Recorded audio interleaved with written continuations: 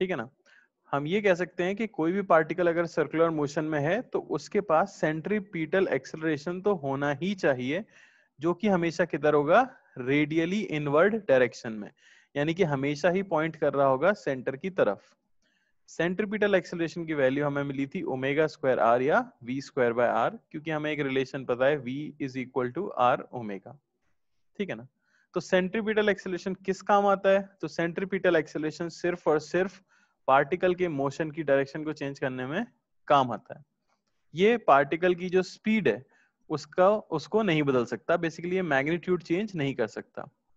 जबकि दूसरे टाइप का जो एक्सेलरेशन हमने देखा था, उसे हम क्या बोलते हैं? टेंजेंशियल एक्सेलरेशन अब जो टेंजेंशियल एक्सेलरेशन है, उसकी डायरेक्शन हमेशा वेलोसिटी के अलोंग ही थी।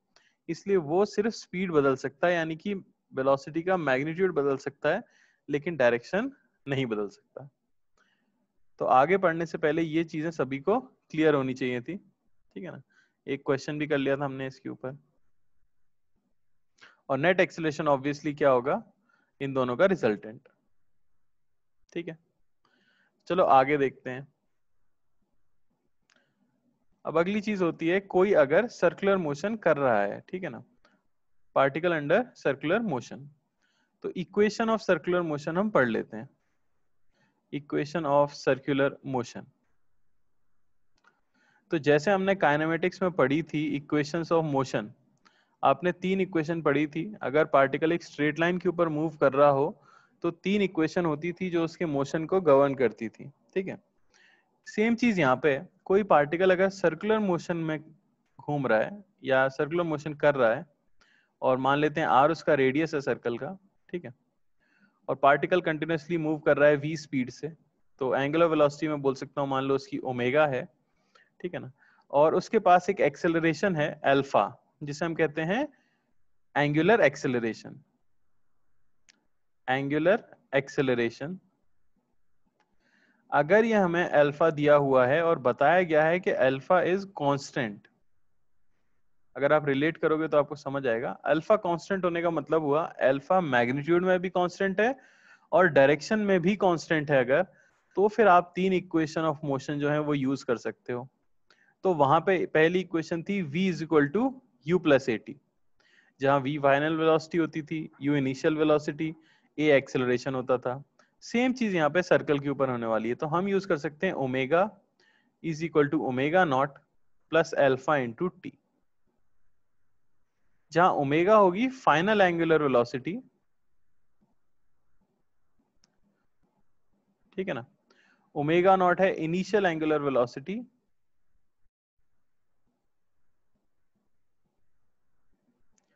और अल्फ़ा है आपका एंगुलर एक्सिलरेशन ठीक है ना? दूसरी चीज़, दूसरी इक्वेशन होती थी V square is equal to U square plus two A S तो वो यहाँ पे रिप्लेस हो जाती है v यानी फाइनल स्पीड का square is equal to initial angular speed का square plus two into alpha into displacement को हम लिख देते हैं डेल्टा थीटा जैसे कि हम समझ ही चुके हैं। तो ये हो जाती है आपकी सेकेंड इक्वेशन ऑफ़ मोशन ये पहली इक्वेशन ऑफ़ मोशन ये second equation of motion similarly third जो वहाँ पे हमने देखी थी, s is equal to u t plus half a t square तो यहाँ displacement delta theta is equal to u t omega naught t plus half alpha t square तो जो तीन इक्वेशन ऑफ़ मोशन हम काइनामेटिक्स में पढ़ी थी हमने मोशन इन वन डायमेंशन में, उसकी भी यही कंडीशन थी कि अगर आपका एक्सेलरेशन कांस्टेंट है, तभी आप इक्वेशन ऑफ़ मोशन यूज़ कर सकते हो। सिमिलर चीज़ यहाँ वैलिड है। अगर आपका एंगुलर एक्सेलरेशन कांस्टेंट है, तभी आप ये तीन इक्वेशन ऑफ़ मोशन यूज़ कर सकते हो। अगर एंगुलर एक्सेलरेशन वेरिएबल हो तो इफ़ अल्फ़ा इज़ वेरिएबल तो याद करो वहाँ हमने पढ़ा था, जब एक्सेलरेशन वेरिएबल हो जाता था तो हमें किसका सहारा लेना पड़ता था? इंटीग्रेशन का।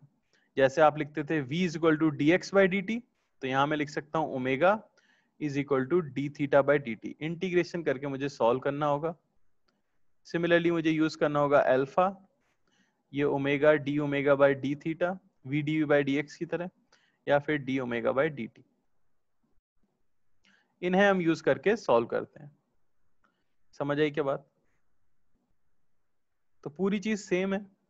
बस आपको ये पता करना होगा अल्फ़ा अगर कांस्टेंट है तो डायरेक्ट इक्वेशंस यूज़ कर लो। अल्फ़ा अगर वेरिएबल है तो फिर आपको क्या करना होगा? कैलकुलस का यूज़ करना होगा। ठीक है? तो एक क्वेश्चन कर लेते हैं इसके ऊपर भाई।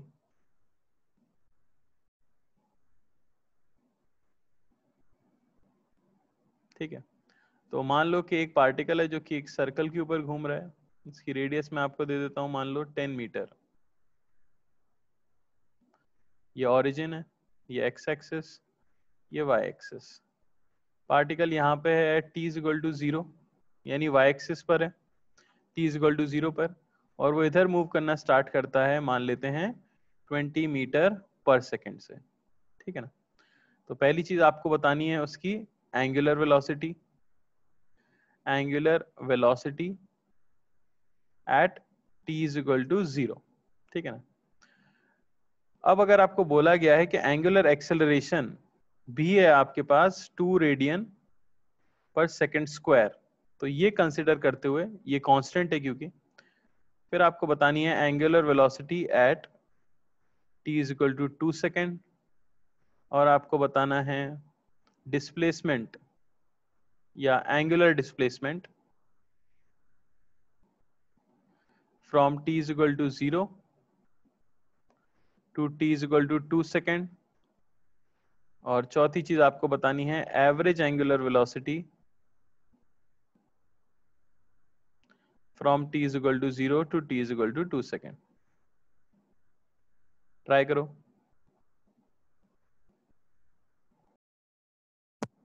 चलो देख लेते कैसे होगा। तो सबसे पहले आपसे पूछी गई थी angular velocity at t is equal to zero तो t is equal to zero पे आपको वेलोसिटी पता है।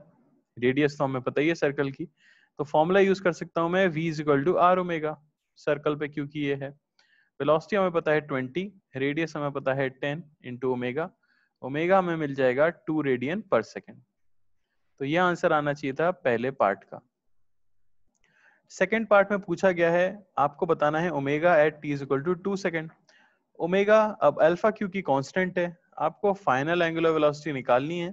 इनिशियली आपको दी गई है टू रेडियन पर सेकेंड तो मैं सीधे यूज़ कर सकता हूँ omega is equal to omega naught plus alpha into t omega हो जाएगा। इनिशियली ओमेगा हमने निकाल ही लिया है टी इक्वल टू ज़ीरो पे टू प्लस अल्फ़ा हमें पता ही है टू और टाइम गया है दो सेकेंड ये मिल जाएगा हमें सिक्स रेडियन पर सेकेंड है कि नहीं?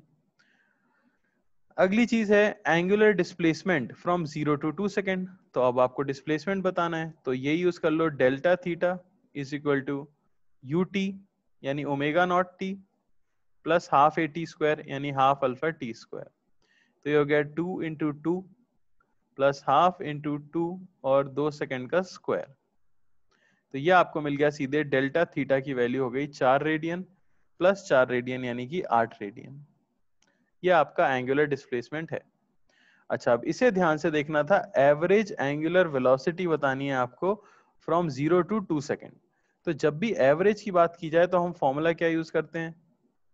ओमेगा एवरेज हो जाता है आपका एंगुलर डिस्प्लेसमेंट अपॉन टाइम कितना लगा?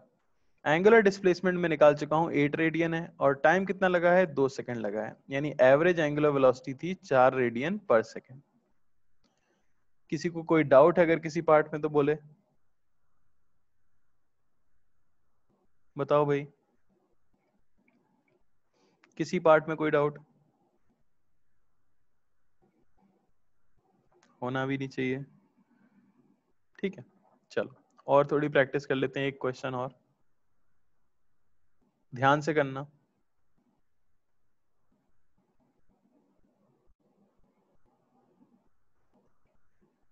ठीक है तो क्वेश्चन है a particle is moving at 10 metre per second on a circle of radius one metre at t is equal to zero ठीक है ना? एज शोन जो आपको दिखाया जाएगा। Due to retardation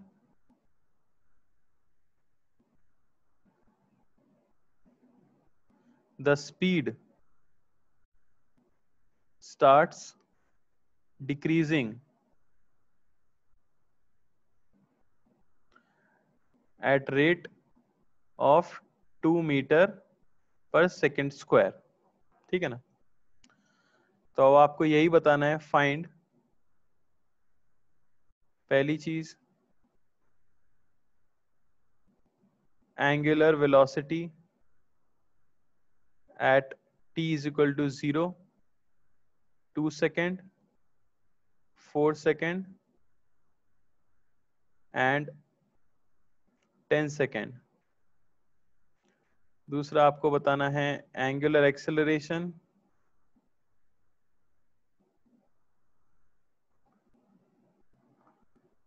और तीसरा बताना है angular displacement. Angular displacement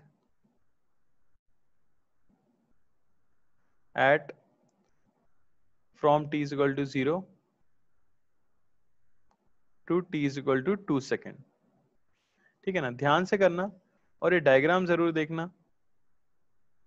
इस तरह से दिया गया है। आपको अपने आंसर्स जो देने हैं, ओमेगा वगैरह के, वो वेक्टर फॉर्म में देना है। ठीक है ना? ये आई कैप है आपका। ये जे कैप है। ठीक है? और टी इजल टू ज़ीरो पे पार्टिकल यहीं पे है। और रेडियस ऑब्वियसली वन मीटर है। ट्राई करो।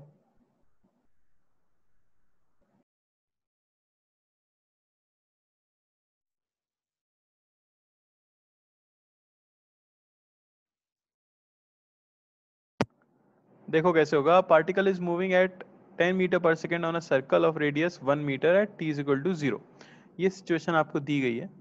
Due to retardation speed starts decreasing तो क्योंकि स्पीड लगातार घट रही है तो अल्फ़ा जो है ओमेगा को सपोर्ट नहीं कर रहा होगा, उसे अपोज कर रहा होगा। पहला पार्ट है, आपको बतानी है velocity at t equal to zero ठीक है ना? कि टी इक्वल टू ज़ीरो पे वेलोसिटी क्या होगी? तो वो तो बताना बड़ा ही आसान है। सबसे पहले टी इक्वल टू ज़ीरो के लिए अगर मैं सॉल्व करूँ, ठीक है ना? तो आप क्या लिख सकते हो? टी इक्वल टू ज़ीरो पे आपको v पता है ten metre per second radius तो है ही वन मीटर तो omega at t is equal to zero भी हमें मिल जाएगा v बराबर आर ओमेगा तो v बाय आर यानी कि 10 रेडियन पर सेकेंड। ये आ गया सबसे पहले हमारे पास क्या? Omega at t equal to zero. अब उन्होंने बोला है कि उसकी स्पीड लगातार घटती है at the rate of two metre per second square. तो अब आपको एक एक्सेलरेशन दिया हुआ है। एंगुलर एक्सेलरेशन नहीं है, क्योंकि उसकी यूनिट तो रेडियन पर सेकेंड स्क्वायर होती। इसकी यूनिट है मीटर पर सेकेंड स्क्वायर यानी ये एक्सेलरेशन है। और क्योंकि ये स्पीड को चेंज कर पा रहा है तो ये कौन सा एक्सेलरेशन है? ये टेंजेंशियल एक्सेलरेशन है। तो आपको बताया गया है कि a tangential is equal to minus two metre per second square minus मैंने क्यों लिया? क्योंकि रिटार्डेशन हो रहा है। तो इसे मैं क्या लिख सकता हूँ? इसे मैं लिख सकता हूँ आर अल्फ़ा ए टेंजेंशियल होता है आर अल्फ़ा अल्फ़ा जहाँ पे होता है एंगुलर एक्सेलरेशन तो एंगुलर एक्सेलरेशन अल्फ़ा की वैल्यू मुझे मिल जाएगी minus two radian per second square अगर मैं रेडियस को वन मीटर डाल दूँ तो। तो ये आपको सेकेंड पार्ट का आंसर भी यहाँ से मिल गया। और इसी की ज़रूरत पड़ेगी हमें फ़र्स्ट पार्ट के बाकी पार्ट्स को सॉल्व करने के लिए। T equal to two second पे फोर सेकेंड पे और टेन सेकेंड पे ओमेगा चाहिए। तो मैं यूज़ करूँगा omega is equal to omega naught plus alpha into t समझ आई बात? अच्छा मुझे यहाँ डायरेक्शन भी देनी चाहिए थी। तो अगर इनिशियली ओमेगा की डायरेक्शन इनटू द प्लेन मैंने ली है तो इसे मैं क्या बोलूँगा? माइनस के कैप सबको समझ आ रहा है ना? राइट हैंड से आप घुमा के देखो। ये सर्कल पे घूम रहा है तो आप हाथ ऐसे घुमाओगे राइट हैंड को। तो आपका थंब कहा जाएगा? Into the plane into the plane कौन सी एक्सेस है? माइनस के कैप तो एल्फा किधर होना चाहिए? एल्फा है minus two radian per second square minus k cap में। या आप कह सकते हो कि एल्फा जो है वो बाहर की तरफ़ है तो प्लस के कैप में भी उसे बोल सकते हैं। खैर, अगर आपको ओमेगा चाहिए कब? टू सेकेंड पे तो वो हो जाएगा ओमेगा नॉट जो कि है टेन प्लस एल्फा जो कि है माइनस टू और टाइम है टू सेकेंड यानी कि six radian per second omega हमें और कब चाहिए था? और चाहिए आपको फोर सेकेंड और टेन सेकेंड पे। तो फोर सेकेंड पे वो हो जाएगा plus minus two into four यानी कि टू रेडियन पर सेकेंड और फाइनली ओमेगा चाहिए आपको टेन सेकेंड पे तो हो जाएगा ten plus minus two into ten यानी कि minus ten radian per second ये सभी आएगा माइनस के कैप में. क्यों आएगा ये सभी माइनस के कैप में? क्योंकि मैंने अंदर वाली डायरेक्शन को पॉजिटिव लेके ये सब सॉल्व किया है. अरे समझ आ रहा है कि नहीं? ये हम देख चुके थे ना कि ओमेगा एक एक्सियल वेक्टर है तो एक्सियल वेक्टर के लिए हमें राइट हैंड रूल यूज़ करना पड़ता है। और थर्ड और आखिरी part angular displacement from t is equal to zero to t is equal to two second तो थर्ड पार्ट में आपसे पूछा है डेल्टा थीटा जो हो जाता है omega naught t plus half alpha t square तो दो सेकंड में कितना डिस्प्लेसमेंट हुआ उसके लिए initial ten into two plus half alpha हमारे पास माइनस टू है। इंटू टू का स्क्वायर ये हमें मिल जाएगा कितना? 16 रेडियन तो ये था angular displacement in first two seconds किसी को कोई डाउट है तो हैंड रेज करे अभी। कोई भी डाउट है तो हैंड रेज करो।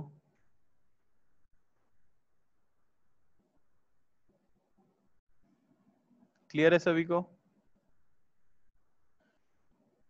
चलो, बहुत बढ़िया। तो ये तो वो क्वेश्चंस हैं, जो कि हम कर सकते हैं अगर हमने काइनेमेटिक्स पढ़ा है और तीन इक्वेशन ऑफ़ मोशन हमें आती हैं तो ये सारे क्वेश्चन आप बड़ी आसानी से सॉल्व कर सकते हो। है कि नहीं? तो थोड़ा सा आगे बढ़ते हैं और इम्पोर्टेंट चीज़ के ऊपर चलते हैं, जो है आपका सेंट्रीपीटल फोर्स सेंट्रीपीटल फोर्स इसे जरा ध्यान से सुनना, ठीक है ना? तो सेंट्रीपीटल फोर्स किसे बोला जाता है? तो जैसा कि हमें ये समझ आ गया है कि भाई, अगर किसी पार्टिकल को सर्कुलर मोशन करना है, अगर किसी पार्टिकल को सर्कल के ऊपर घूमना है तो उसके पास एक मिनिमम एक्सेलरेशन तो होना ही चाहिए, जिसे हमने नाम दिया है सेंट्रीपीटल एक्सेलरेशन और वो हमेशा पॉइंटेड होता है किधर? सेंटर की तरफ़। बात समझ आई क्या? किधर पॉइंटेड होता है हमेशा वो? सेंटर की तरफ़।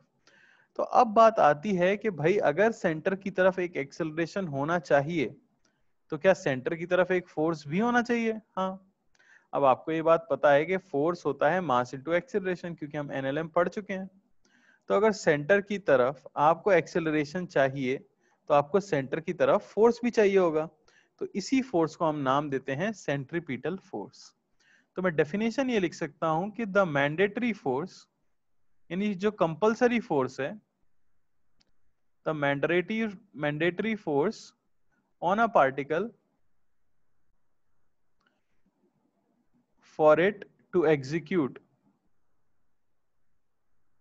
circular motion अगर वो सर्कुलर मोशन करना ही चाहता है is called centripetal force is called centripetal force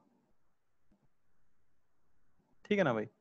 तो सीधे सीधे से सेंट्रीपिटल फोर्स हो जाता है मास इनटू सेंट्रीपिटल एक्सेलरेशन या इसी को मैं कह सकता हूँ एम ओमेगा स्क्वायर आर या m v square by r कह सकते हैं कि नहीं? कह सकते हैं। और हमेशा कहा? रेडियली इनवर्ड क्योंकि एक्सेलरेशन भी हमेशा रेडियली इनवर्ड होता है। तो अंदर की तरफ़। समझ आई बात? यानी कोई ना कोई फोर्स तो रिस्पॉन्सिबल होगा ही एक्सेलरेशन प्रोवाइड करने के लिए। अगर कोई फोर्स सेंटर की तरफ़ डायरेक्टेड नहीं है तो फिर सर्कुलर मोशन हो पाना पॉसिबल नहीं होगा। क्या आपको बात समझ आ रही है? क्या इसी तरह से मैं टेंजेंशियल फोर्स भी बता सकता हूँ? क्या मैं इसी तरह से टेंजेंशियल फोर्स भी बता सकता हूँ? अब अगर टेंजेंशियल एक्सेलरेशन है, देखो टेंजेंशियल एक्सेलरेशन मैंडेटरी नहीं है। ज़रूरी नहीं है कि सर्कल पे कोई घूम रहा है तो टेंजेंशियल एक्सेलरेशन हो ही। लेकिन सेंट्रीपिटल तो क्या था? ज़रूरी था। बात समझ आ रही है? तो इसी तरह से हम क्या लिख सकते हैं? टेंजेंशियल फोर्स भी लिख सकते हैं। टेंजेंशियल फोर्स भी लिख सकते हैं। क्या हो जाएगा वो? तो ये हो जाएगा simply force responsible force responsible for tangential acceleration tangential acceleration और मैं फॉर्मूला लिख सकता हूँ सीधे से कि टेंजेंशियल फोर्स जो होगा, वो हमेशा क्या होगा? मास इंटू ए टेंजेंशियल या m into r alpha r alpha हमें पता है क्या होता है भाई? आर अल्फ़ा होता है आपका टेंजेंशियल एक्सेलरेशन तो अगर कहीं पे टेंजेंशियल एक्सेलरेशन है, यानी अगर कहीं किसी क्वेश्चन में अल्फ़ा है तो कोई ना कोई फोर्स ज़रूर होना चाहिए जो हमें ये एक्सेलरेशन प्रोवाइड कर रहा हो। इसका एक एग्ज़ाम्पल देखते हैं, ठीक है ना? ताकि ये बात समझ आए कि हम करना क्या चाह रहे हैं। तो मान लो कि हमारे पास एक हॉरिजॉन्टल टेबल है। हॉरिजॉन्टल टेबल है, और उसके ऊपर हमने एक पत्थर को सर्कल के ऊपर घुमाना शुरू किया है रस्सी से बांधकर। ठीक है ना? ये एम मास का पत्थर है। यहाँ सेंटर पे रस्सी बंधी हुई है, और ये हॉरिजॉन्टल टेबल है। बात समझ आ रही है? वर्टिकल नहीं है तो ग्रेविटी इस केस में नहीं लगने वाली है। हॉरिजॉन्टल, एक टेबल है जिसपे एक पत्थर घूम रहा है आर रेडियस के अंदर। तो अगर आप पत्थर को ऐसे हाथ में लेके घुमाओगे हॉरिजॉन्टल सर्कल में तो क्या पत्थर के अंदर कोई टेंशन आएगा? ऑब्वियसली आएगा।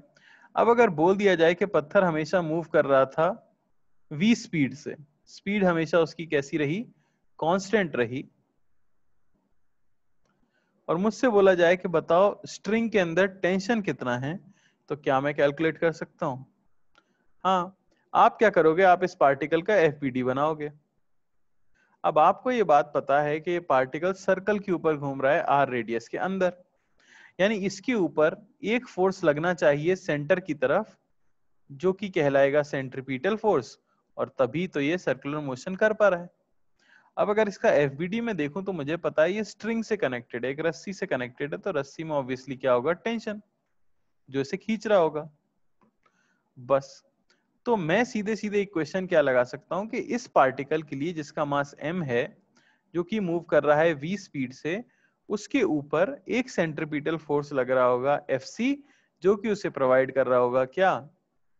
सेंट्रीपिटल एक्सेलरेशन तो मैं सीधे लिख सकता हूँ Fc, ये होना चाहिए मास इनटू ए सेंट्रीपिटल अब दोनों के एफ़ से, आप दोनों एफ़ से ये कंपेयर करके बता सकते हो कि एफ़ जो सेंट्रीपिटल फोर्स है, वो कौन प्रोवाइड कर रहा है? वो टेंशन प्रोवाइड कर रहा है। जो रस्सी के अंदर टेंशन है, ऐसा सोच के देखो, अगर रस्सी में टेंशन नहीं होता तो क्या पत्थर बंधा रह पाता? नहीं। तो जो रस्सी के अंदर टेंशन है, वही ये सेंट्रीपिटल फोर्स प्रोवाइड कर रहा है। तो इसे मैं लिख सकता हूँ टेंशन ये इक्वल होना चाहिए mass into centripetal acceleration v square by r और आपको टेंशन की वैल्यू मिल जाती है कितनी? M v square by r बात समझ आई क्या? बोलो भाई। कोई डाउट इसमें मैंने क्या किया है? आपको सिर्फ़ एफ़ बनाना है और अगर सर्कल पे है तो सेंटर की तरफ़ डायरेक्टेड एक फोर्स बना देना है, जिसे हम क्या कहेंगे? सेंट्रीपिटल फोर्स कहेंगे। ठीक है ना? चलो, देखो। और कैसे क्वेश्चंस आ जाते हैं? ठीक है ना? और क्वेश्चन आपसे कोई पूछ सकता है क्या? कि मान लो कि अब मैं वर्टिकल सर्कल में ये चीज़ कर रहा होता। ध्यान से देखना। ये वर्टिकल सर्कल है। ठीक है? और ये एल लेंथ की स्ट्रिंग है और ये एम मास का पत्थर है। ये यहाँ पे सबसे बॉटम वाले पॉइंट पे वी स्पीड से मूव कर रहा है। तो एट दिस इंस्टेंट स्ट्रिंग में जो टेंशन होगा, वो कितना होगा? ये क्वेश्चन अगर हमसे पूछा जाए तो क्या आप बता सकते हो? एक बार ट्राई करके बताओ जरा। इसकी वेलोसिटी भी मैं आपको दे देता हूँ, वो है under root three g r बताओ जरा क्या आप टेंशन बता सकते हो?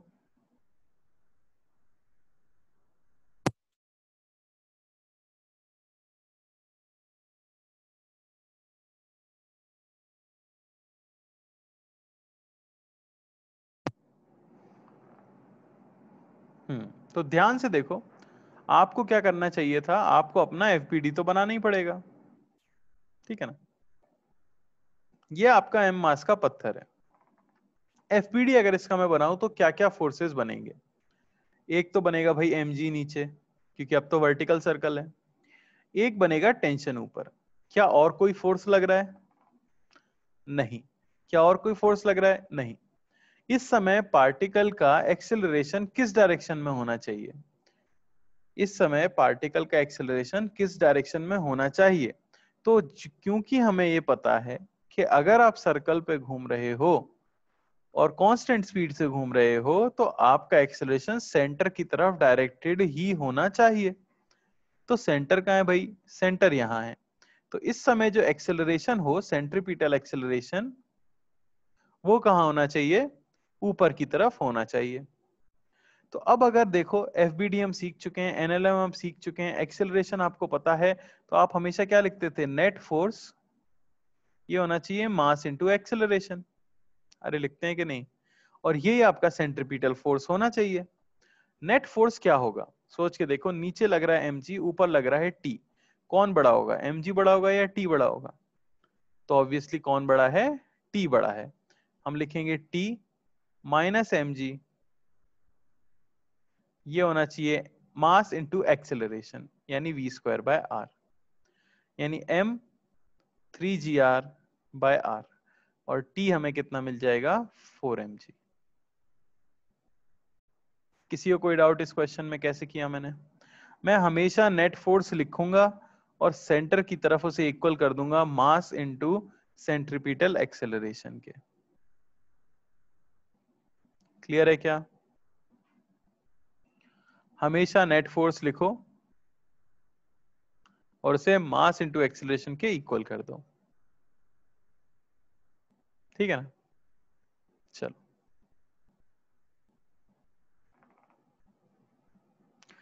अब जैसे ये एक क्वेश्चन है, ठीक है, कि ये एक सर्कुलर ट्रैक है वर्टिकल सबने स्पीड ब्रेकर देखा है रोड के ऊपर स्पीड ब्रेकर होता है होता है कि नहीं होता? रोड के ऊपर स्पीड ब्रेकर है और वो स्पीड ब्रेकर का रेडियस ऑफ़ कर्वेचर आपको 10 मीटर दिया गया है। ठीक है ना भाई? रेडियस ऑफ़ कर्वेचर आपको 10 मीटर दिया गया है। अब एक आदमी है जो यहाँ से साइकिल चलाता हुआ जा रहा है उसके ऊपर। ठीक है? और आदमी की जो मास है, वो आपका 50 के है। और जो स्पीड है, वो 5 मीटर पर सेकेंड है। तो ये पॉइंट है ओ। ये स्पीड कांस्टेंट है, ठीक है ना? हमेशा यही रहती है। तो आपको बताना है कि बताओ, नॉर्मल रिएक्शन क्या लग रहा होगा? Normal reaction on man at O. जब वो पॉइंट ओ पे पहुंचेगा उस समय ग्राउंड उस पर नॉर्मल रिएक्शन कितना लगा रहा होगा, ठीक है ना? ये ऐसा ब्रिज जैसा है, पुल मान लो ऐसे पुल के ऊपर चल के जा रहा है आदमी। जब वो हाईएस्ट पॉइंट पे है तो उस पर नॉर्मल रिएक्शन कितना लगेगा? कुछ नहीं करना है, आपको टॉप मोस्ट पॉइंट पे एफ़ बनाना है और net force is equal to mass into centripetal acceleration try करो।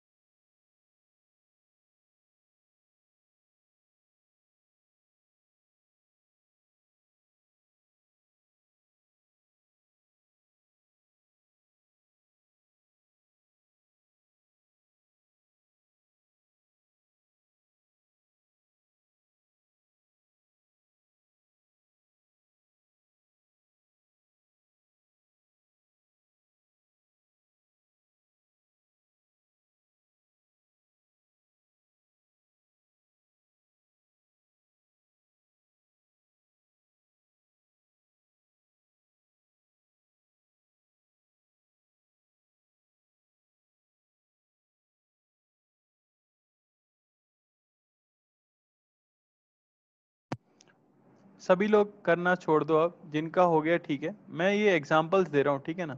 अभी आपको क्वेश्चंस दे नहीं रहा हूँ, मैं बस चाह रहा हूँ जिनको आता है वो लोग एटलीस्ट कर सकें। तो देखो हाईएस्ट पॉइंट पे आपको करना था नॉर्मल रिएक्शन बताना है।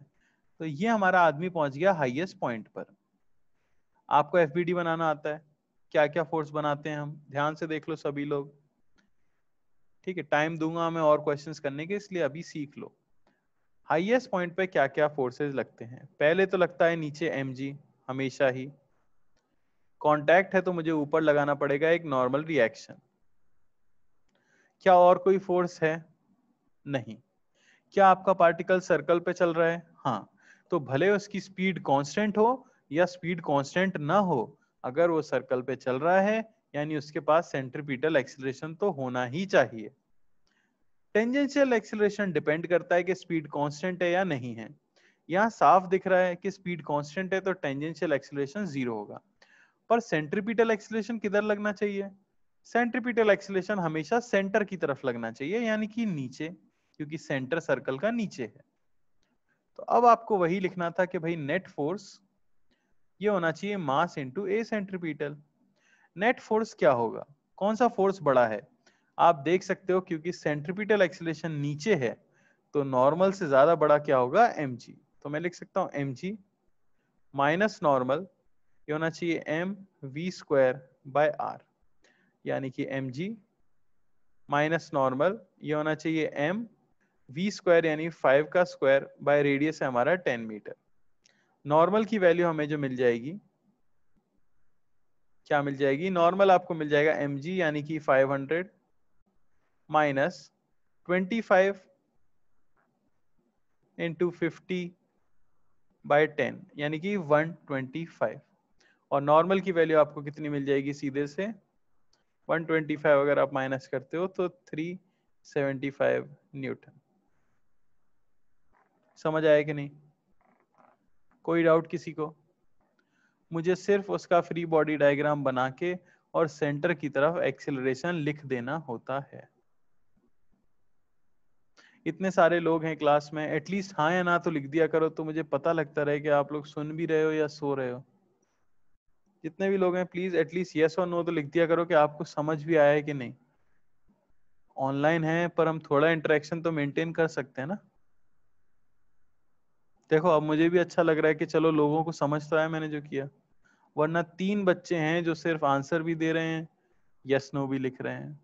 गलत है ना चलो। तो फिर एक क्वेश्चन में ऐसा ही आपको और देता हूँ। देखते कितने लोग समझे थे इसे। ठीक है तो फिर से हमारे पास ब्रिज है। सेम है क्वेश्चन रेडियस इस बार मैं 20 मीटर कर देता हूँ। यह हाईएस्ट पॉइंट ओ ये हमारा मनुष्य। थोड़ा सा वज़न बढ़ा देते हैं। हंड्रेड के जी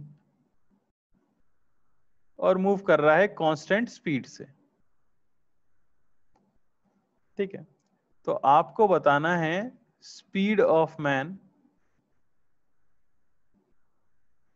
to lose contact lose contact at O.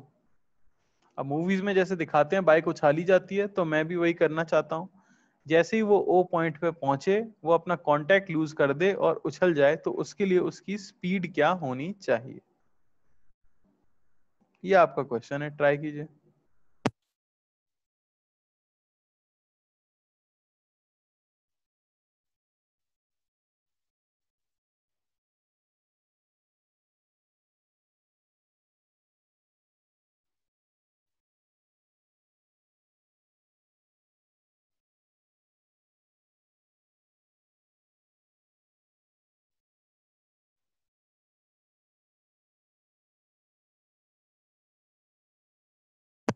चलो भाई देखते हैं। तो वही हाईएस्ट पॉइंट पे तो पहुंचाना ही है और आपको एफ़ बनाना है। सबसे पहले आप बना दोगे एम जो कि हो जाएगा आपका थाउज़ेंड न्यूटन फिर आप बनाओगे नॉर्मल रिएक्शन जो कि लगेगा ऊपर। फिर आप क्या करोगे? एक्सेलरेशन तो हमें पता है किधर होना चाहिए सेंटर की ही तरफ़ होना चाहिए। है कि नहीं? इक्वेशन क्या बनेगी? वही बनेगी थाउज़ेंड माइनस नॉर्मल ये होना चाहिए मास इंटू सेंट्रीपिटल एक्सेलरेशन यानी थाउज़ेंड माइनस नॉर्मल ये होना चाहिए mass into v square by radius है हमारी ट्वेंटी मीटर कॉन्टैक्ट लूज होने का मतलब क्या हुआ? कॉन्टैक्ट छोड़ देने का मतलब क्या हुआ? कोई भी कॉन्टैक्ट फोर्स नहीं होना चाहिए। यानी नॉर्मल क्या हो जाना चाहिए? ज़ीरो कॉन्टैक्ट छूटा यानी कि नॉर्मल रिएक्शन ज़ीरो तो इस चीज़ को मैं बस ज़ीरो कर देता हूँ। यहाँ से आपको वेलोसिटी की वैल्यू सीधे मिल गई भाई कितनी? टेन रूट टू मीटर पर सेकेंड। अरे, था ना एकदम हलवा सवाल। थोड़ा सा ध्यान देना था आपको कि कांटेक्ट लूज होने का मतलब क्या हुआ? नॉर्मल रिएक्शन को ज़ीरो कर देना है हमें। इस तरह से हम निकाल सकते हैं। समझ आई क्या बात? क्लियर है सभी को? थोड़ा सा अलग क्वेश्चन कर सकते हैं।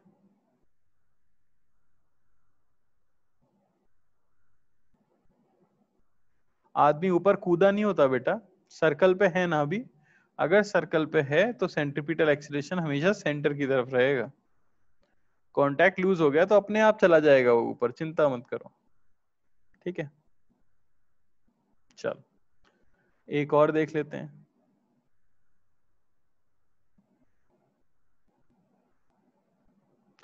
मास बेटा कट जाता है। बिना मास के Ayushi actually mass cancel out हो जाएगा ना हर जगह से। ये देखो नॉर्मल तो ज़ीरो है ही। ये लिखा है बेसिकली एमजी और ये लिखा है m v square by r तो इस क्वेश्चन में ना मास मास कट जाता है। इसलिए अब कोई भी मास की ऑब्जेक्ट होती ना, वो टेन रूट टू पे ही कॉन्टेक्ट छोड़ देती।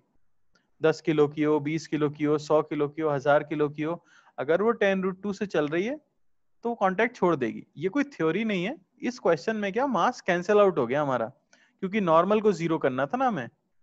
कहीं हमें नॉर्मल ही निकालना होता तो फिर मास्क की ज़रूरत पड़ती। फिर बिना मास्क के नहीं निकाल पाते हम। समझ आ रही बात? ठीक है। चलो, एक और क्वेश्चन कर लेते हैं। इस बार हमारे पास एक बोल है। सभी ने देखा है बोल। बोल की रेडियस हमें दी गई है। वन मीटर एक बॉल है जो उसमें लुढ़कती हुई नीचे आ रही है। ठीक है। बॉल की इस समय स्पीड आपको दी गई है, मान लेते हैं टू मीटर पर सेकेंड ठीक है ना? और वर्टिकल से जो पोजीशन है, वो एंगल बना रही है आपका थर्टी सेवन डिग्री ठीक है? बॉल आपका फिक्स्ड है मूव नहीं कर सकता। तो आपको ये बताना है नॉर्मल रिएक्शन या normal exerted by ball on ball ball ने बॉल पे कितना नॉर्मल रिएक्शन लगाया होगा? इस समय पर आपको सिर्फ़ वो बताना है। समझ आई बात? ऊपर से रिलीज़ किया होगा। इस समय पे लुढ़कती हुई नीचे जा रही है। सब कुछ आपको दिया गया है। ट्राई करो।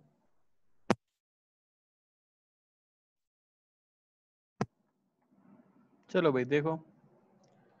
तो ये भी सिंपली क्वेश्चन था। नॉर्मल रिएक्शन हमेशा किधर लगेगा? सेंटर की तरफ़ परपेंडिकुलर टू कॉन्टैक्ट सरफेस और आपको लगाना था एक एम जो कि यहाँ लग जाएगा। टेन और क्या लगना चाहिए? और कोई फोर्स है ही नहीं। एक तो एमजी है और एक कॉन्टैक्ट फोर्स है। दोनों हमने लगा दिए। अच्छा हमें किस डायरेक्शन से मतलब है? हमें पता है कि क्योंकि एक सर्कुलर ट्रैक पे चल रहा है तो सेंट्रीपिटल एक्सेलरेशन सेंटर की तरफ़ एक्ट कर रहा होगा। यानी मुझे इस डायरेक्शन का नेट फोर्स लिखना था। इस डायरेक्शन का। तो नॉर्मल तो इसी के अलोंग है, बस आपको एम का कंपोनेंट लेना पड़ेगा। अब ये एंगल 37 डिग्री है, हमें ये पता है।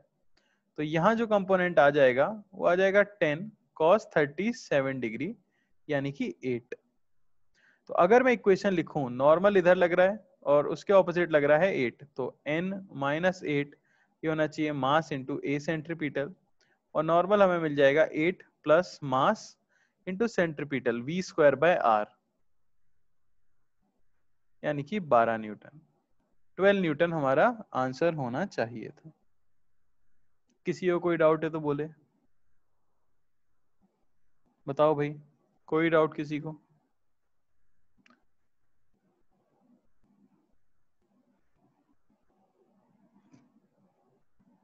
कोई डाउट ठीक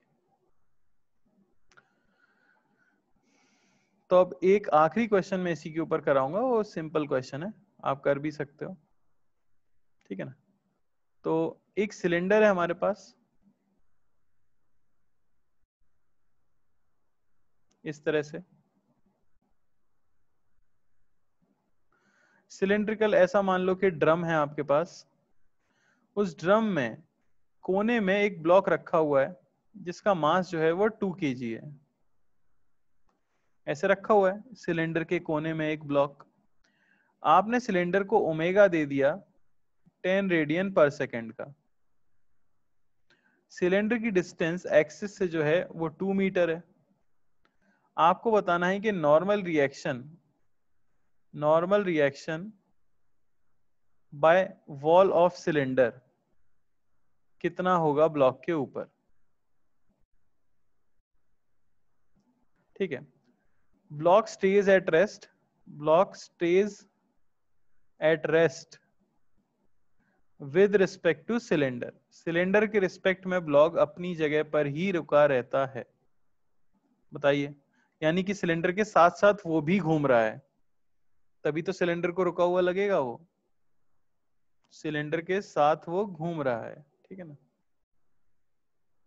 ट्राई करो।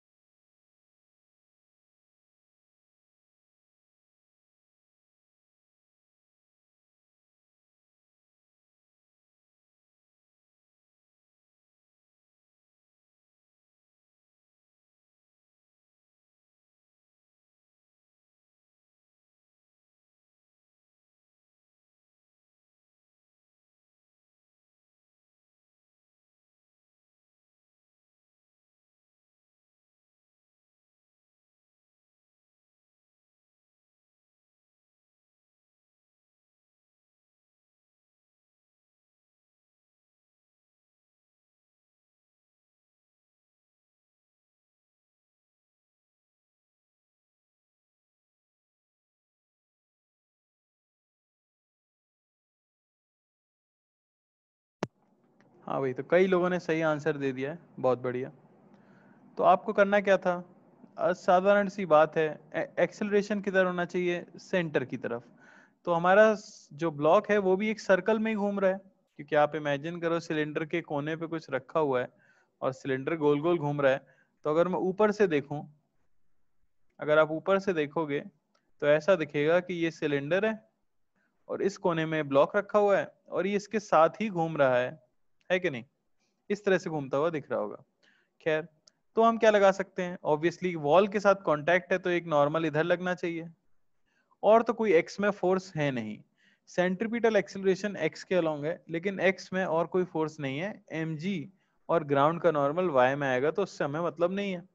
तो एक्स के अंदर अगर मैं लिखूं तो नॉर्मल रिएक्शन बाय वॉल ये होना चाहिए मास इंटू ए सेंट्रीपिटल तो ये हो गया सिंपली आपका two into omega square r ये आपको मिला भाई कितना? 400 न्यूटन। यानी कि वॉल कितना नॉर्मल लगा रही होगी ब्लॉक के ऊपर? 400 न्यूटन लगा रही होगी।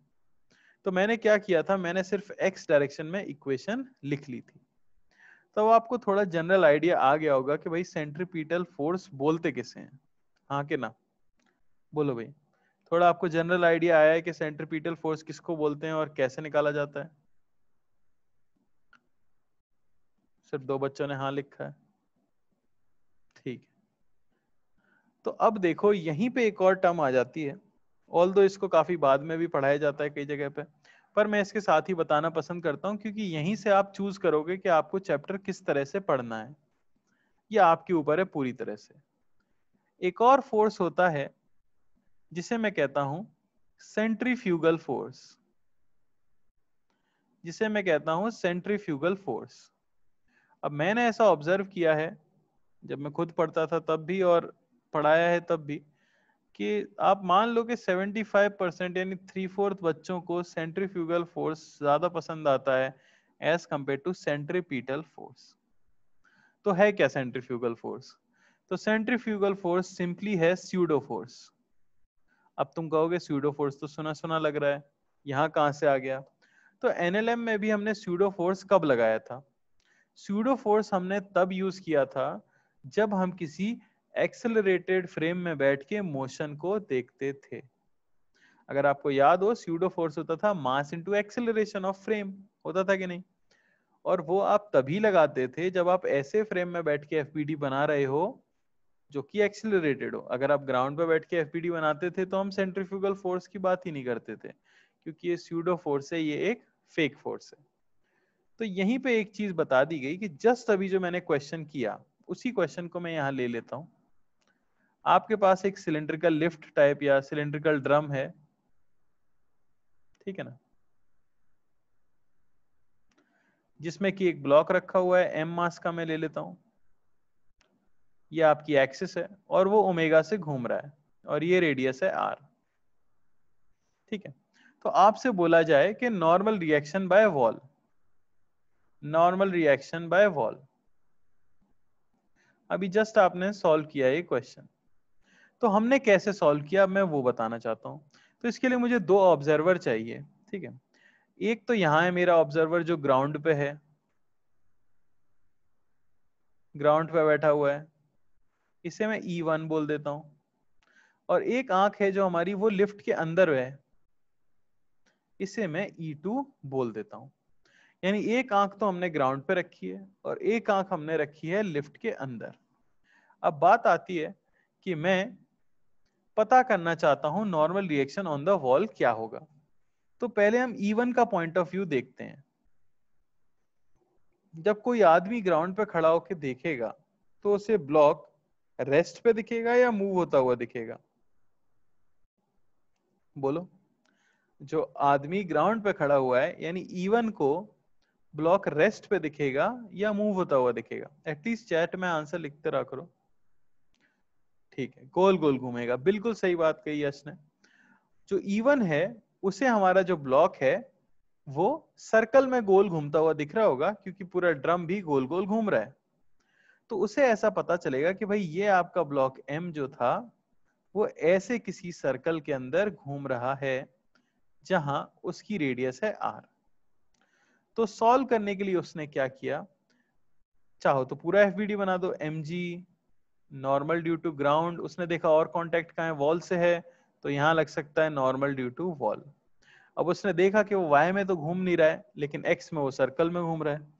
फिर उसने सर्कुलर मोशन पढ़ा था तो उसे पता था कि सर्कल में घूमोगे तो सेंट्रीपिटल एक्सेलरेशन तो होगा ही होगा। यानी उसे समझ आया कि भाई इस ब्लॉक के पास एक एक्सेलरेशन सेंटर की तरफ़ है, जिसे मैं सेंट्रीपिटल एक्सेलरेशन लिख सकता हूँ। और उसने क्या लिख दिया कि नेट फोर्स इन एक्स ये होना चाहिए mass into acceleration x direction में। नेट फोर्स एक्स में सिर्फ़ उसे देखा एन डब्ल्यू ये होना चाहिए मास इनटू ए सेंट्रीपिटल यानी एम ओमेगा स्क्वायर आर और उसे नॉर्मल की वैल्यू मिली कितनी? एम ओमेगा स्क्वायर आर अभी जस्ट हमने सॉल्व किया, है कि नहीं? उसी की जगह अगर बात की जाए कि E2 E2 अगर इस ब्लॉक को देखता तो उसे ब्लॉक रेस्ट पे दिखता या मूव होता हुआ दिखता? बताओ जरा। अगर E2 जो हमारी आँख है, वो खुद लिफ्ट के अंदर बैठी हुई है तो उसे ब्लॉक मूव होता हुआ दिखेगा या रेस्ट पे दिखेगा। तो ये तो क्वेश्चन में ही स्पेसिफाइड था कि block is at rest with respect to lift और हम जाके किसमें बैठे हैं? लिफ्ट में। तो ब्लॉक हमारे हिसाब से किस पे होना चाहिए? रेस्ट पे होना चाहिए। यानी इसे ब्लॉक दिखता है रेस्ट पे। जबकि इवन को ब्लॉक दिखा था सर्कुलर मोशन करते हुए। तो अगर इसे रेस्ट पे दिखा तो ये अगर एफबीडी बनाए उसका एम मास का, उसे पता है यहाँ एक्सेस है। चलो ठीक है, ये दूरी आर है, सारी बातें सही है। तो वो एफ़ अगर बनाना स्टार्ट करेगा तो वो बनाएगा भाई एम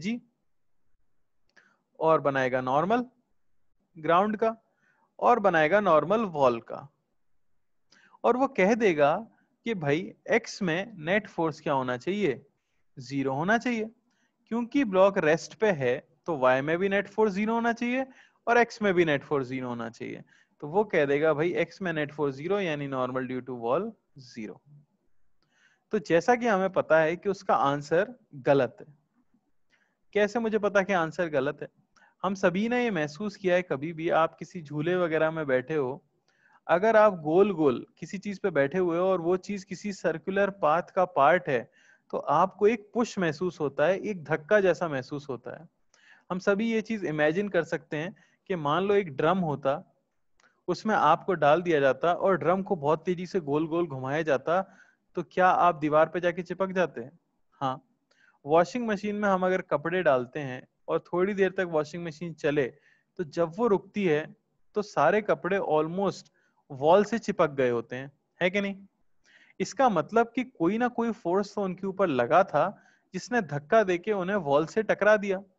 अगर वो वॉल पे फोर्स लगा रहे थे तो इसका मतलब वॉल भी उनके ऊपर फोर्स लगा रही होगी। तो क्योंकि ब्लॉक मैंने वॉशिंग मशीन जैसी चीज़ में रखा है, और वो चीज़ गोल गोल घूम रही है तो नॉर्मल ज़ीरो तो नहीं आ सकता। यानी इस आदमी ने जो किया है, वो गलत किया है। और क्यों इसने गलत किया? क्योंकि ये बैठ गया था ड्रम के अंदर। ड्रम खुद कर रहा है सर्कुलर मोशन क्योंकि ड्रम खुद सर्कुलर मोशन कर रहा है और हमें पता है कि दुनिया का हर सर्कुलर मोशन एक एक्सेलरेटेड मोशन है। यानी कि E2 जो बैठा हुआ था, वो बैठा हुआ था एक्सेलरेटेड फ्रेम में। इन एक्सेलरेटेड फ्रेम और ये न्यूटन कह गए थे कि भाई एक्सेलरेटेड फ्रेम के लिए Newton laws of motion valid नहीं है।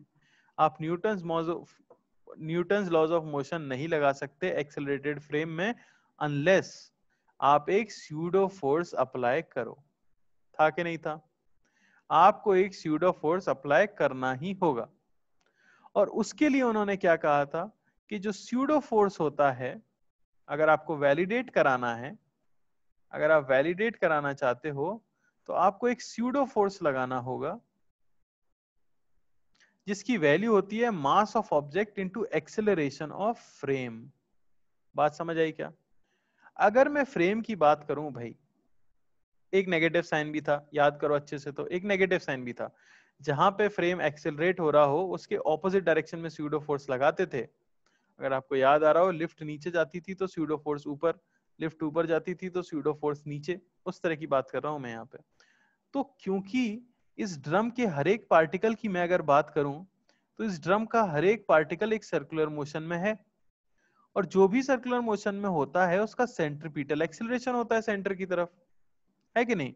तो जिस फ्रेम में मैं बैठा हूँ, या जिस जगह पर भी मैं बैठा हूँ जिस पॉइंट पर मैं बैठा हूँ उस पॉइंट का एक्सेलरेशन सेंटर की तरफ़ होगा इनवर्ड्स जिसे हम कहते हैं सेंट्रीपिटल एक्सेलरेशन तो जो स्यूडो फोर्स में लगाने वाला हूँ, वो मुझे कहाँ लगाना चाहिए? इनवर्ड लगाना चाहिए या आउटवर्ड लगाना चाहिए?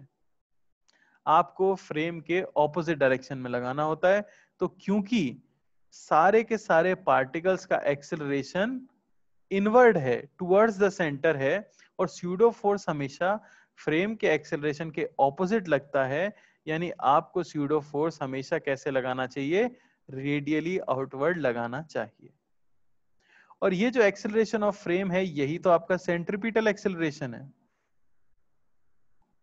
तो यहाँ से पता लगा कि भाई जो सेंट्रीफ्यूगल फोर्स होता है, जिसे हमने नाम दिया है स्यूडो फोर्स जो सेंट्रीफ्यूगल फोर्स होता है, वो हो जाता है m v square by r या एम ओमेगा स्क्वायर आर अगर हमारा फ्रेम v वेलोसिटी से सर्कुलर पाथ में घूम रहा है, या हमारे फ्रेम का एंगुलर वेलोसिटी ओमेगा है तो। अगर इस चीज़ को ध्यान में रखते हुए उसने एफबीडी बनाया होता तो वो नॉर्मल ड्यू टू वॉल यहाँ बनाता और क्योंकि सबके लिए सेंट्रीपीटल इस तरह के सर्कल में वो घूम रहा है, आप ऐसा मान लो। फ्रेम जो है हमारा ऐसे सर्कल में घूम रहा है तो रेडियली आउटवर्ड अगर वो ये फोर्स बना देता M V square by R तो एनएलएम वैलिड हो जाता। और एनएलएम के हिसाब से पार्टिकल क्योंकि रेस्ट पे है तो अब नेट फोर्स ज़ीरो होना चाहिए। Net force in x direction क्या होना चाहिए? ज़ीरो तो वो कह सकता था नॉर्मल ड्यू टू वॉल जो कि अंदर की तरफ़ है, वो इक्वल होना चाहिए बाहर लगने वाले फोर्स के m v square by r अगर आपको ये पूरी बात समझ आई तो अच्छी बात है। अगर नहीं समझ आई तो इसका एक सिंपल सा तरीका है। आप ये रट लो कि कोई भी अगर सर्कल पे घूम रहा है तो उसके ऊपर लगता है एक सेंट्रीफ्यूगल फोर्स या तो क्वेश्चन आप सेंट्रीपीटल से सॉल्व करोगे, या क्वेश्चन आप सेंट्रीफ्यूगल से सॉल्व करोगे। ये चीज़ मैं यहाँ क्लियर कर दूँ। आइदर आप लगा सकते हो किसी क्वेश्चन में सेंट्रीपीटल या सेंट्रीफ्यूगल अब कोई पूछ रहा है ऑप्शन रहेगा क्या? बेटा ऑप्शन की कोई बात ही नहीं है, आपकी श्रद्धा के ऊपर है। एग्जामिनर को क्या पता आपने क्या लगाया है? आप कुछ भी लगा सकते हो और दोनों ही सही होते हैं। दोनों नहीं लगाने हैं। मैंने कुछ बच्चे देखे हैं अपने जीवन काल में जो सेंट्री सेंट्रीफ्यूगल फोर्स भी लगा देते हैं, फिर सेंट्रीपिटल एक्सिलरेशन भी मान लेते हैं। तो मैं यही क्लियर करना चाहता हूँ। जब भी आप सेंट्रीपिटल एक्सिलरेशन कंसिडर करोगे तो आप मानोगे कि पार्टिकल सर्कल में घूम रहा है। और जब भी आप सेंट्रीफ्यूगल फोर्स कंसिडर करोगे तो आप मानोगे कि पार्टिकल रेस्ट पर है। बात समझ आई क्या? सेंट्रीपिटल एक्सिलरेशन हमेशा ही इनवर्ड लगेगा, लेकिन सेंट्रीफ्यूगल हमेशा ही क्या लगेगा? आउटवर्ड लगेगा। दोनों की वैल्यू एग्जैक्टली सेम है। अब क्यों बच्चों को सेंट्रीफ्यूगल पसंद आता है? हालाँकि कुछ लोग होंगे तुम में से जो सुन के इसको और ज़्यादा कंफ्यूज हो गए होंगे। लोगों को ये पसंद इसलिए आता है क्योंकि सेंट्रीपीटल में मुझे नेट फोर्स लिख के और एक इक्वेशन लिखनी पड़ती है कि net force is equal to mass into a centripetal जबकि सेंट्रीफ्यूगल में तुम्हें हमेशा सिर्फ़ नेट फोर्स ज़ीरो करना होगा। और नेट फोर्स ज़ीरो करना हमेशा हमें क्या लगता है? आसान लगता है। मैं एक एग्जांपल करके बताता हूँ। जो हमने अभी भी किया है, पर हमने किया था सेंट्रीपीटल से। तो मान लो ये ब्रिज है, ठीक है ना? ये ब्रिज है रेडियस 20 मीटर है हंड्रेड के का आदमी है जो मूव करना चाह रहा है इसके ऊपर। हमें बताना था वेलोसिटी क्या होनी चाहिए ताकि लूज कांटेक्ट कर दे वो एट ओ किया हम सभी ने ये क्वेश्चन अब देखो, इसे मैं इस फ्रेम से कैसे कर सकता हूँ? मैं क्या करूँगा? मैं ये मान लूँगा कि जब पार्टिकल हाईएस्ट पॉइंट पे बैठा है, तब मैं भी इसके फ्रेम में बैठा हुआ हूँ, यानी मैं भी इसी ओमेगा से घूम रहा हूँ जिससे ये घूम रहा है। तो आपके लिए रेस्ट पे हो गया। ठीक है तो आप पहले तो एम लगाओगे भाई हाँ। फिर आप नॉर्मल लगाओगे हाँ। और एक आप क्या लगाओगे? सेंट्रीफ्यूगल फोर्स क्या लगाऊँगा मैं? सेंट्रीफ्यूगल फोर्स और सेंट्रीफ्यूगल फोर्स हमेशा ही कैसा लगेगा? रेडियली आउटवर्ड कंफ्यूज मत होना। सेंट्रीफ्यूगल हमेशा बाहर की तरफ़ और सेंट्रीपीटल से सॉल्व कर रहे हो तो अंदर की तरफ़। हमेशा बेटर रहता है अगर आप सेंट्रीफ्यूगल यूज़ करो क्योंकि उसमें आपको एफबीडी बनाने में आसानी होती है। तो मुझे एक फोर्स लगाना होगा बाहर की तरफ़। सेंट्रीफ्यूगल जिसकी वैल्यू होगी m v square by r अब क्योंकि हमारे लिए पार्टिकल किस पे है? रेस्ट पे है, क्योंकि मैं एक एक्सिलेटेड फ्रेम में खुद बैठ गया हूँ तो मैं नेट फोर्स को क्या कर दूँगा? ज़ीरो यानी नीचे लगने वाला फोर्स ये इक्वल होना चाहिए, ऊपर लगने वाला फोर्स और कांटेक्ट लूज होने का मतलब है नॉर्मल ज़ीरो वेलोसिटी आ गई टेन रूट टू मीटर पर सेकेंड तो देखो, बात ये है ना खास, कि अगर आप सेंट्रीफ्यूगल से सॉल्व करोगे या आप सेंट्रीपीटल से सॉल्व करोगे इक्वेशन आपकी सेम बनेगी। बात समझ आ रही है? इक्वेशन आपकी सेम बनेगी। तो आपने कैसे सॉल्व किया है, ये मोस्ट क्लियरली सिर्फ़ आपको ही पता होगा और किसी को नहीं पता होगा अनलेस वो एफ़ देखे। एफ़ में अगर आपने एक्सेलरेशन शो किया तो वो समझ जाएगा कि आपने सेंट्रीपीटल एक्सेलरेशन से किया है। एफ़ में अगर आपने सेंट्रीफ्यूगल फोर्स शो किया तो वो समझ जाएगा कि आपने सेंट्रीफ्यूगल से किया है। बात समझ आ रही है? इससे देखना चीज़ें आसान लगेंगी। चलो, एक क्वेश्चन ट्राई कर लेते हैं इसी के ऊपर। ठीक है? तो मान लो कि ये सर्कल है हमारा। दस मीटर उसकी रेडियस है। और एक बॉल है जो लड़कती हुई जा रही है लोएस्ट पॉइंट पे। उसकी स्पीड है टेन मीटर पर सेकेंड ठीक है ना? मास में ले लेता हूँ इसका टू के जी। ये पॉइंट है। ओ, आपको बताना है normal by ground normal by ground at O बताओ जरा। ओ पॉइंट पे नॉर्मल ग्राउंड कितना लगा रहा होगा? सभी लोग सेंट्रीफ्यूगल से ट्राई करें, मैं ये चाहता हूँ। एफ़ बनाओ नेट फोर ज़ीरो करो।